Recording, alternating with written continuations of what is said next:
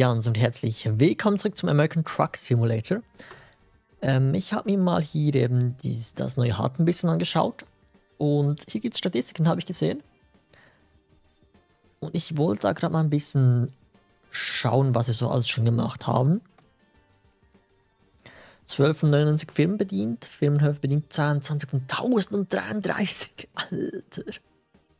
Anzahl Aufträge gerade mal 12.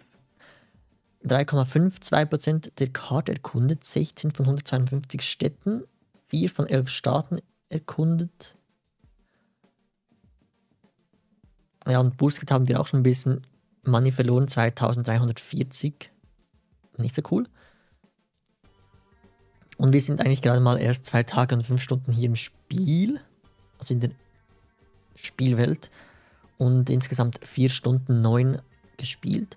Und das Auftragsbuch gibt es hier auch noch, was ich sehr interessant finde. Da sieht man wirklich alle Frachten, die man bisher eigentlich gefahren hat. Von wo bis wo, wie viel und so weiter. Eigentlich sehr cool. Habe ich vorher eigentlich noch nie gesehen.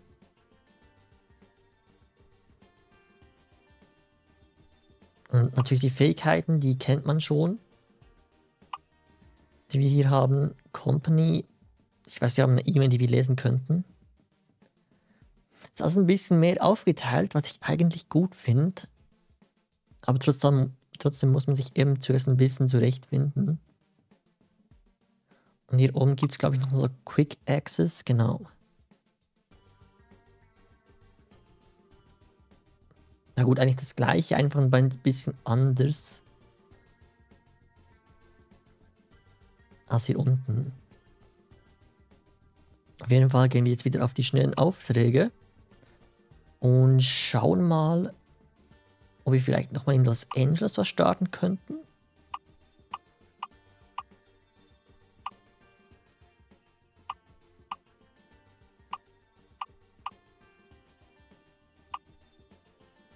Oder eben von Oxnard aus. Wir hätten hier einen Spezialtransport einmal quer rüber nach Barstow. Ein Fertighaus hört sich spannend an. Oder auch Großreifen.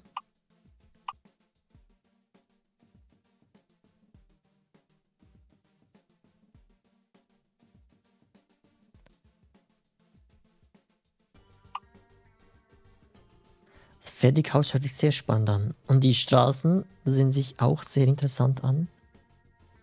Sehen auch sehr interessant aus, wollte ich sagen so.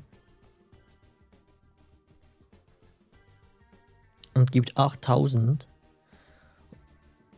Und ist auch nicht allzu eine lange Strecke. Ich glaube, das nehmen wir mal.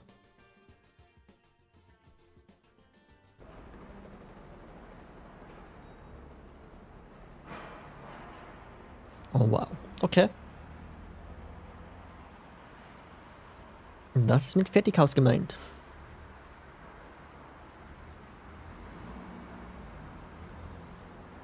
Ziemlich breit, das Ganze.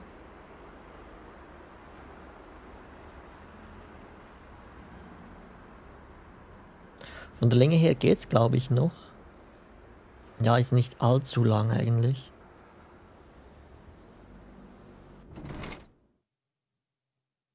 Ja gut, das kennen wir schon. Ich stelle gleich mal wieder meinen Spiegel ein und dann sehen wir uns gleich wieder. Alright. Come on, there's a job to do. 185 Meilen haben wir für uns. Die Spiegel sind hier äh, ziemlich, wie soll ich sagen, falsche Taste, ziemlich ähm, nutzlos. Leider haben wir auch keine Hood, Hood, Hood Mirrors, also die hier vorne auf der Haube. Ja, könnte lustig werden. Könnte lustig werden. Aber wir haben ja, glaube ich, Begleitfahrzeuge, von daher sollte das ja schon gehen irgendwie. Das FOV ist halt auch nicht unbedingt so perfekt mit diesen Spiegeln, die man hier im Spiel hat.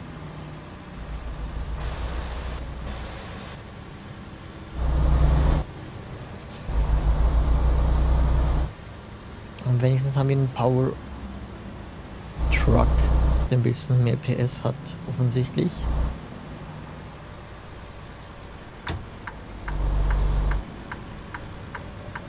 Und dann, wie gesagt, hier grüne Bahn. Turn right. Niemand, der uns in die Quere kommen will oder kann.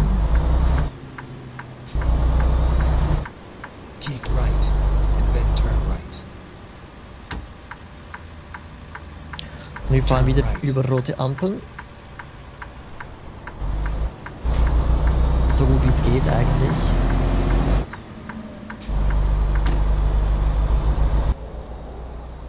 Aber der folgt eigentlich ziemlich gut. Das ist eigentlich bloß ein Flatpad. Eben nicht allzu großer Länge. Go straight.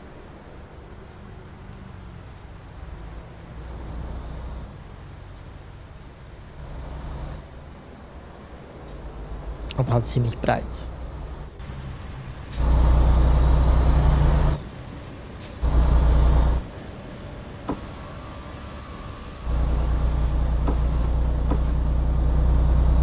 Obwohl, ne, ich lasse das Fenster offen. Dann kann ich wenigstens rausschauen, es irgendwie mal knapp werden sollte.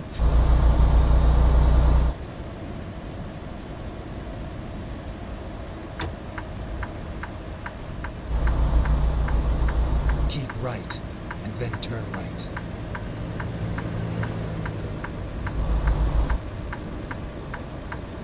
Turn right. Die FPS-Spikes nerven schon ein bisschen. Wahrscheinlich mache ich dann nach dieser Folge hier Pause erstmal und warte ab, bis die 1.50 ganz draus ist. Also aus der Beta raus. Und fahre es dann wieder weiter. Mit dem Spiel. Weil es doch schon ein bisschen äh, nervig ist. Und wenn man jetzt wahrscheinlich irgendwie mit der Grafik was ändert oder die Monster rausnimmt, weiß ich nicht, ob das wirklich was ändern würde. Jetzt wird spannend. Wenn uns jetzt hier ein Truck entgegenkommt, ja, und das passiert auch.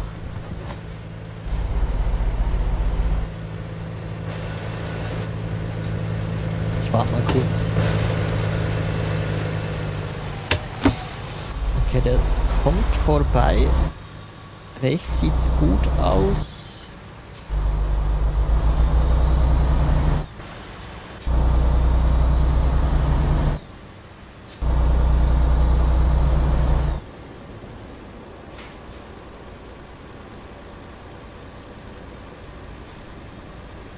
Okay, die warten da, das ist sehr gut.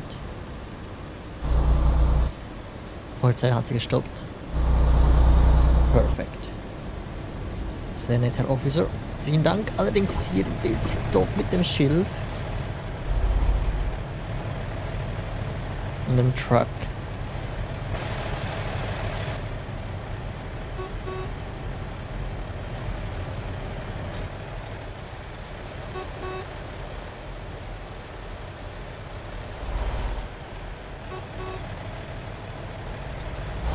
Aber das sieht gut aus.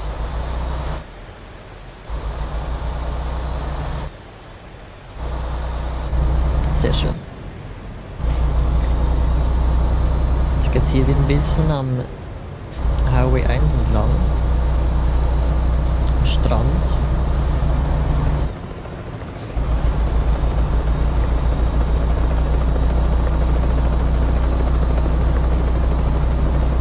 Jetzt bin ich hier wirklich vorher durchgefahren. Ist mir gar nicht aufgefallen, dass es hier so aussieht. Diesen ganzen Leuten. Schön.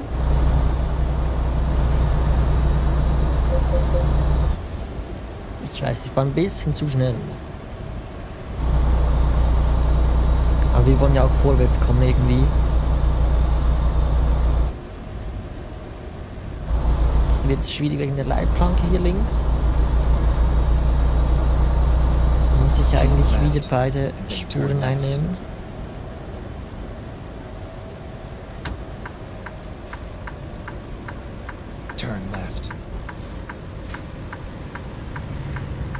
Okay, zum Glück wird es gerade grün. Sonst wäre es ein bisschen schwierig gewesen. Danke sehr.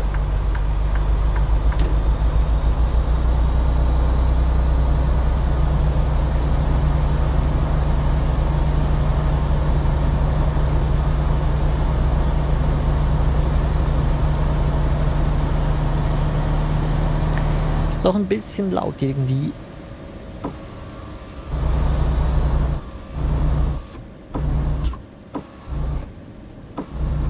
So.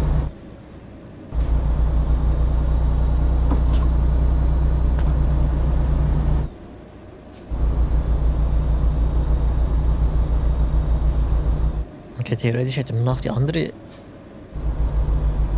die andere Route nehmen können, das wäre schlau gewesen, wenn man mich fragt.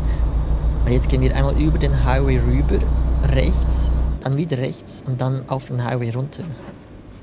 Hm. Und die andere Spur wäre eigentlich gleich einfach Straße folgen und dann rechts runter. Ein bisschen weniger aufwendig gewesen mit den ganzen 90 Grad Kurven hier. Aber gut, wahrscheinlich geht es nicht anders. Wahrscheinlich ist das strikt, strikt geregelt. Irgendwie vom Permit her.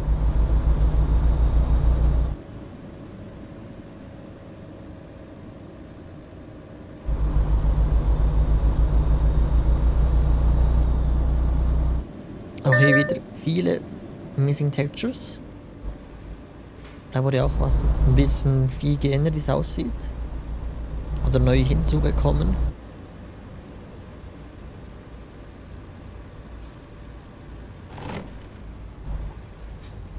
Okay, der wartet. Trotzdem ein bisschen doof. Ah, Jetzt muss ich das, das Fenster wieder aufmachen. Könnte ein bisschen knapp werden, weil hier rechts ist auch noch so eine so ein Bootstein.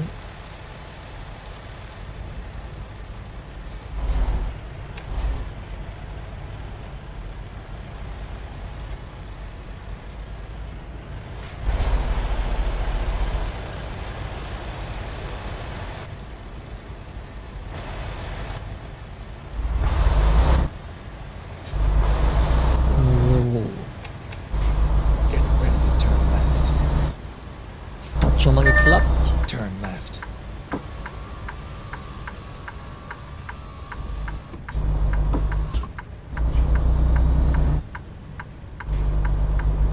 Und dann geht's wieder runter. Den Highway.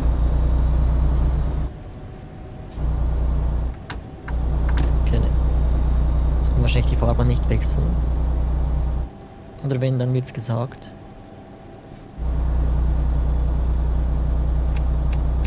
Hm.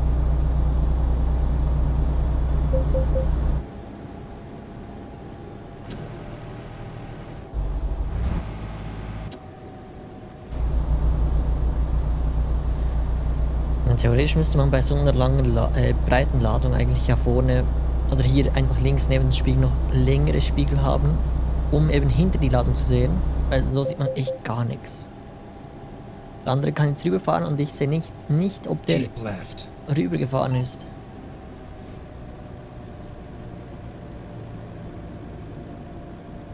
Ja, jetzt sehe ich's. Wegen der Kurve.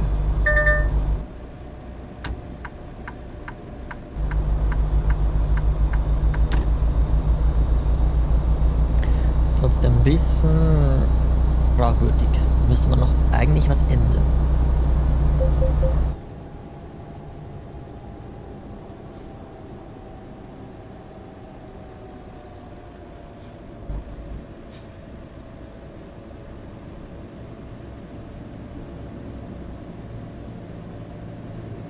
Ich hoffe mal, niemand kommt auf die Idee, uns hier überholen zu wollen. Nein, wie gesagt, ich würde das nicht sehen. Und wenn uns da jemand reinfährt und ich dann schuld bin, dann ist Ende vom Gelände.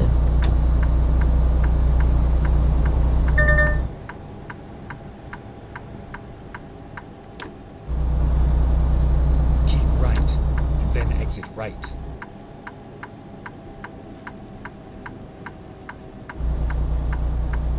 Exit right.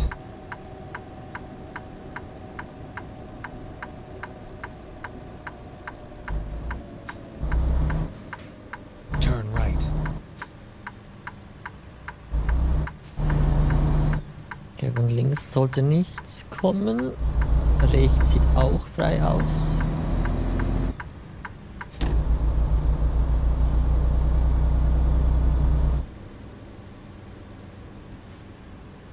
Perfect.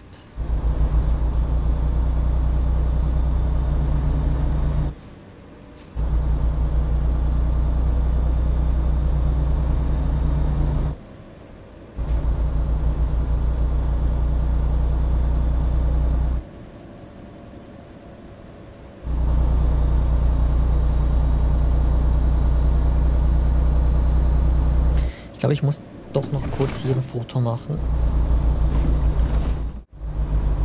So, weiter geht's. Sorry dafür. Ich dachte mir, das könnte vielleicht cool aussehen, so in der Kurve einen schönen Shot zu machen. Und es sah auch gut aus. Wird man dann vielleicht im Thumbnail sehen. Wenn ich das Foto nehme oder das andere. Mal schauen.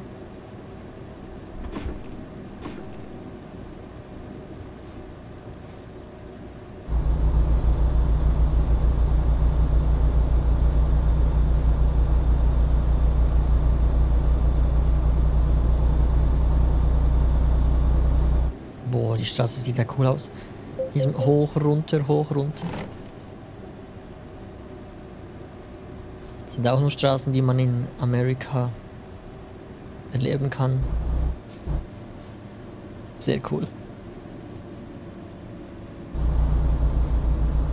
Als wir zum Grand Canyon West gefahren sind, in meinen Ferien, sind wir auch so eine Straße entlang gefahren. Und das sah wirklich, wirklich cool aus. In real life. Und war irgendwie auch lustig, weil es eben hoch und runter ging die ganze Zeit. Junge, man könnte früher zur Seite fahren. Hatte da gerade ein bisschen Angst wegen der wegen dieser Con Concrete Barrier hier drüben.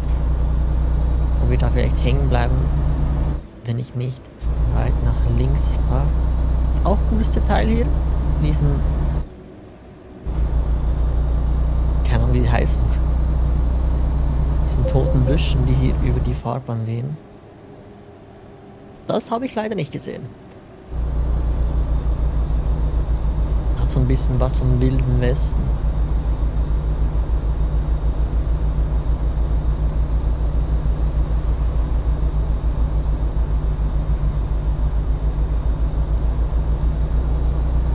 Okay, noch 85 Meilen sind wir am Ziel.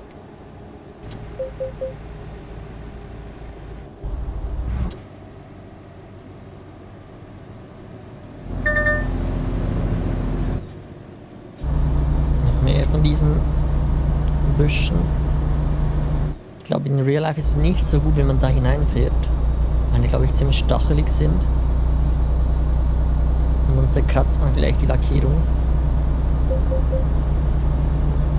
Oder macht die Reifen kaputt. Je nachdem.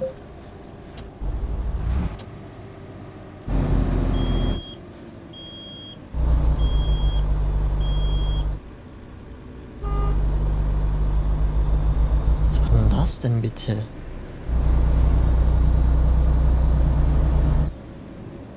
Da unten ist irgendwie gerade das Zeichen für die Batterie aufgeleuchtet.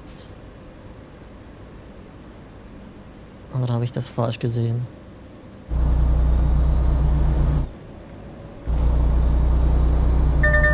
Hm. Sah irgendwie eigentlich so aus.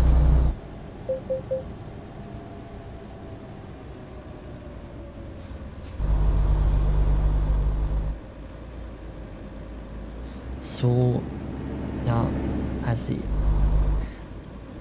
ich habe ja eingestellt beim Adaptive Cruise Control, dass er eine gewisse, einen gewissen Abstand einhalten zum vorderen, vor, vorderen Fahrzeug. Deshalb bremst er hier so ab. Aber eigentlich, wenn ich abbremse, bremst auch das Auto vor mir ab. Im Konvoi deshalb ein bisschen doof. Dann geht Cruise Control reitet doch nicht.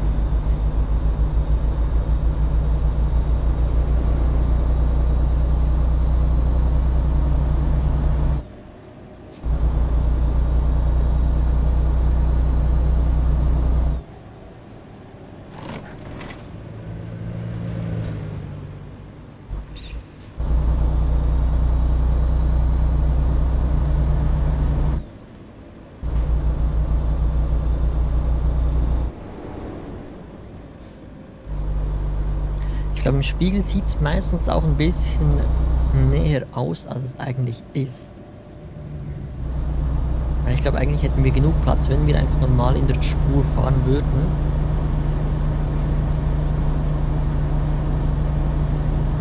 Aber gut. Ah, das Fenster ist ja zu. Alright, dann geht's gleich wieder auf die Interstate. Oder auf den Highway. Oder Freeway.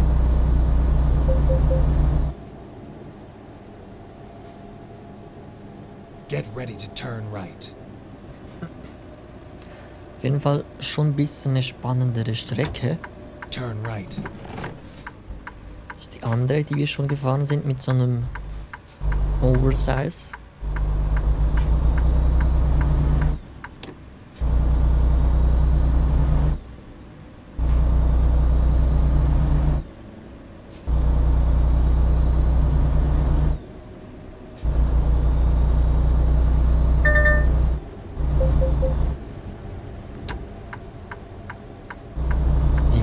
Die wieder sehr schön.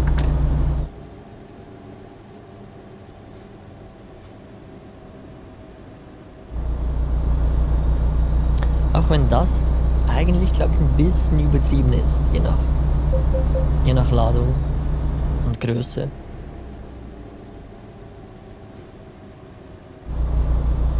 Obwohl hier wahrscheinlich eher von der Breite her. Weil wir so einen großen Überhang haben.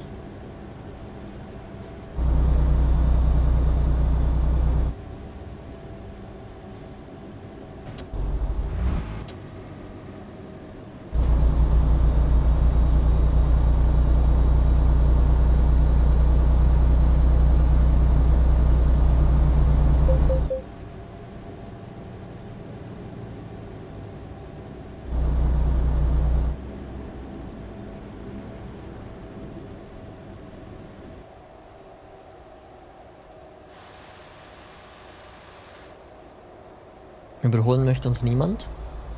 Auch schön.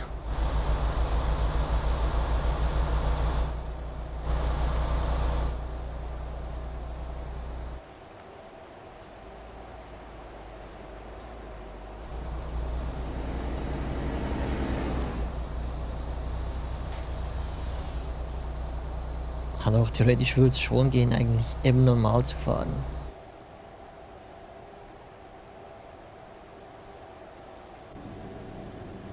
Und trotzdem sieht es immer ziemlich knapp aus.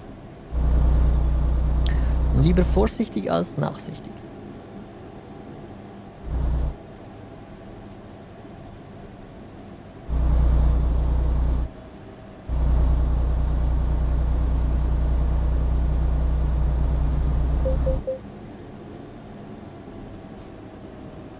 Im Navi sehen wir auch schon das Ziel.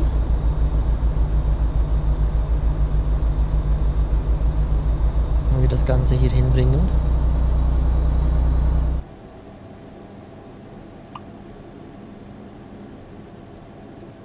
Vierundvierzigtausend Pfund. Eigentlich so wie eine normale Ladung. Im Gewicht her.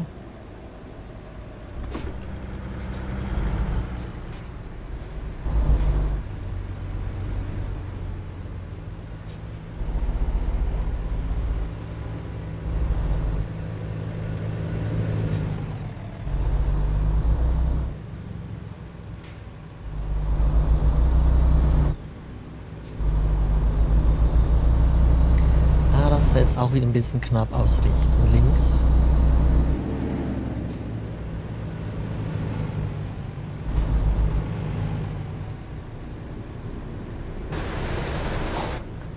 Das war, glaube ich, auch ziemlich knapp.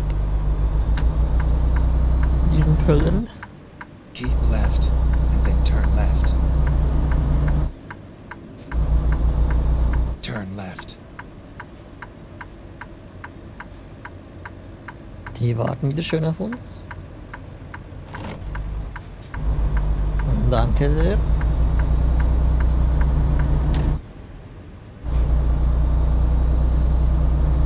Und dann hier hinten links.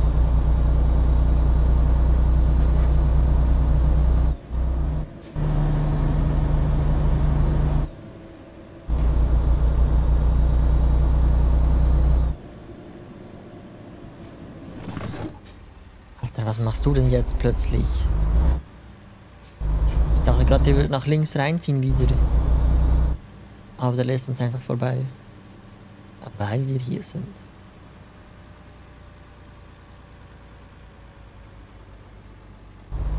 Wahrscheinlich brauchen die das irgendwie als Office oder so. You have arrived at your destination. Your route guidance is now finished. Perfekt. Schauen wir uns das Ganze aber von außen an. Sehr schön. Ohne große Vorkommnisse sind wir gut angekommen. Motor aus und abkoppeln.